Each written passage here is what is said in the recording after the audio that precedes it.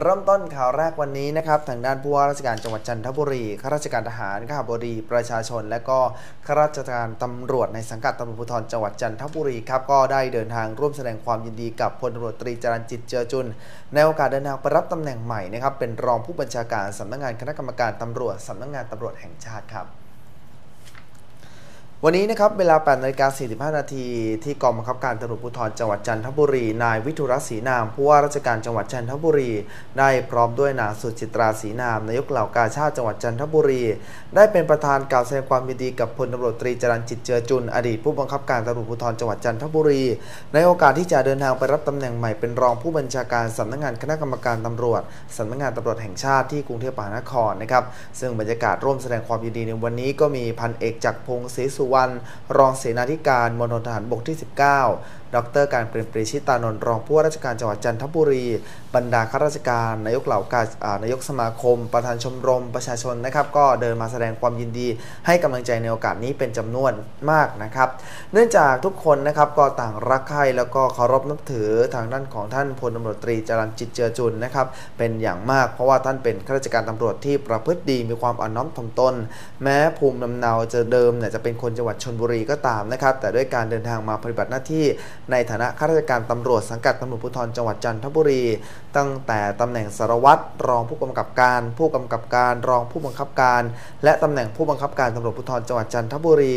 รวมระยะเวลาเป็นการข้าราชการตำรวจในพื้นที่กว่า 20 ปีนั้นท่านแสดงให้เห็นถึงความการทำงานที่เต็มความสามารถ สามารถคลี่คลายคดีต่างๆ ที่เกิดขึ้นได้อย่างรวดเร็ว และมีประสิทธิภาพ จึงทำให้จังหวัดจันทบุรีมีความสงบเรียบร้อย มีการก่ออาชญากรรมต่างๆ ลดน้อยลงอย่างเห็นได้ชัด ค่ะและนอกจากนี้นะคะท่านยังทำให้ประชาชนในจังหวัดจันทบุรีค่ะ รู้สึกว่าปลอดภัยแล้วก็อุ่นใจตลอดระยะเวลาที่ผ่านมาเลยนะคะ ซึ่งนายวิทุรัศรีนามผู้ว่าราชการจังหวัดจันทบุรีนะคะรวมไปถึงนายกเหล่ากาชาติจังหวัดจันทบุรีเนี่ยได้กล่าวคำอวยพรแล้วก็ชื่นชมท่านในฐานะที่ท่านเป็นข้าราชการตำรวจ ที่ปฏิบัติงานเพื่อบำบัดทุกข์บำรุงสุขให้กับพี่น้องประชาชนอย่างแท้จริงค่ะ และหากอนาคตต่อไปนะคะ ก็อยากให้กลับมาปฏิบัติงานอยู่ใกล้กับพี่น้องชาวจันทบุรีต่อไปค่ะ ทางด้านพลตำรวจตีจรันจิตเจือจุนนะคะ อดีตผู้บังคับการตำรวจภูธรจังหวัดจันทบุรีได้กล่าวขอบคุณพี่น้องชาวจันทบุรีและทุกๆคนนะคะ ที่ร่วมเดินทางมาให้กำลังใจนะคะ พร้อมทั้งกล่าวความประทับใจ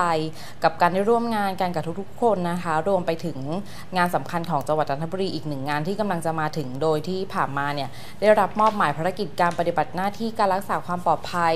และการเตรียมพร้อมพื้นที่รับเสด็จในกลางเดือนนี้นะคะ แต่ตำแหน่งงานที่ได้รับครั้งนี้ถือว่ามีความสำคัญค่ะ โดยท่านได้กล่าวว่าท่านจะไม่ทิ้ง แล้วก็ไม่ลืมชาวจันทบุรีอย่างแน่นอนนะคะ เนื่องจากได้รับคำสั่งเปลยมาว่าจะเข้ามาดูแลงานของตำรวจภูธรภาค 2 ค่ะ ซึ่งรับผิดชอบดูแลพื้นที่ของจังหวัดจันทบุรีด้วยนะคะ การเดินทางในครั้งนี้ค่ะ จึงเป็นการเดินทางไปปฏิบัติงานที่ไม่ไกลนะคะ แล้วก็มีโอกาสที่จะได้เดินทางกลับมารับใช้พี่น้องชาวชาวจังหวัดจันทบุรีอีกครั้งนะคะ เพราะว่าความผูกพันของอการดำรงตำแหน่งรองผู้บังคับการและ ตำแหน่งผู้บังคับการทำให้ตนและครอบครัวรักชาวจันทบุรีค่ะ ซึ่งตรงนี้เรามีเสียงสัมภาษณ์ของท่านด้วยนะคะ ครับสำหรับวันนี้ผมเป็นวันผมที่รู้สึกใจหายเป็นอย่างยิ่งนะครับ เป็นวันที่ผมไม่อยากจะให้มันมาถึงเลยทั้งทั้งที่รู้อยู่ว่า วันนี้มันก็ต้องมาถึงอยู่ดีนะครับสำหรับชีวิต ราชการของพวกเราครับ ตลอดระยะเวลาในการทำงานของผมที่จังหวัดจันทบุรี ถือว่าผมทำงานที่นี่อย่างยาวนานมาก ตั้งแต่รองสารวัตรที่ผมน้ำร้อนแห่งแรก ที่อำเภอท่าใหม่หัวหน้าหน่วยปฏิบัติการพิเศษ หรือหัวหน้าโรงพักเขาพิจิกูสมุทรใหญ่อำเภอมะขาม ก็จะอยู่วนเวียนไปมาในจันทบุรีอีกหลายแห่ง เฉพาะตำแหน่งรองผู้บังคับการและตำแหน่งผู้บังคับการ สองตำแหน่งนี้ผมอยู่เป็นสิบปีเลยครับ ฉะนั้นจังหวัดจันทบุรีถือได้ว่าเหมือนเป็นบ้านของผมนะครับ พ่อแม่ของผมพี่น้องอะไรก็ได้อาศัยจังหวัดจันทบุรีเป็นถิ่นฐานที่ประกอบอาชีพแล้วก็มาอยู่ที่นี่กัน ประกอบกับพี่น้องชาวจันทบุรีนะครับ เป็นเมืองจันทร์เป็นจังหวัดที่มีเสน่ห์มาก นอกจากจะเป็นจังหวัดที่น่าอยู่แล้ว ผู้คนก็น่ารักด้วย ผมก็ต้องขอขอบคุณพี่น้องชาวจันทบุรีเป็นอย่างมากนะครับ ที่ให้ความเมตตากับผมและกับทางข้าราชการตำรวจ ผมเป็นผู้บังคับการที่โชคดีที่สุดนะครับ ผมถือว่าผมทำงานแทบจะไม่ต้องออกแรงเลย มีท่านรองผู้บังคับการหัวหน้าสถานี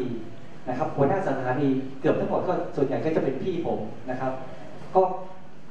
เป็นพี่ที่ผมทำงานด้วยและสบายใจ เพราะพี่ทุกคนให้เกียรติแล้วก็ทำงานสนองตอบ เพื่อเพื่อสำนักงานตำรวจชาติเป็นอย่างดี เราทำงานกันอย่างเต็มที่แล้วก็แม้ว่าสังคมภายนอกจะมองตำรวจเรา เรายอมรับว่าเรา อาจจะมีภาพลบบ้างต้นทุนของเราอาจจะต่ำบ้าง แต่เราก็จะฝ่าฟันกระแสนี้ไปให้ได้ ไปเพื่อพิสูจน์ให้รู้ว่าตำรวจจันทบุรีของเราเนี่ยทำงานด้วยความเข้มแข็งอย่างมีประสิทธิภาพ และทั้งนี้ทั้งนั้นเพื่อประโยชน์สุขของพี่น้องประชาชนอย่างแท้จริงนะครับ ผมต้องขอขอบคุณอย่างมากมากเลยนะครับ ในในในน้ำใจแล้วกำลังใจที่เราเราช่วยกัน ผมจะไม่ลืมเลยนะครับ จะไม่ลืมแล้วก็ในโอกาสที่ผมอาจจะต้องมาดูแลพื้นที่จังหวัดจันทบุรี เราก็คงคงจะต้องอ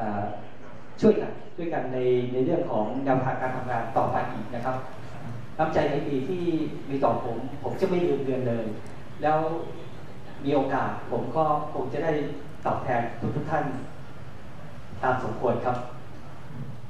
ครับก็ต้องขอแสดงความยินดีกับท่านด้วยนะครับผมใช่ค่ะกับการไปดำรงตำแหน่งใหม่นั่นเองนะฮะ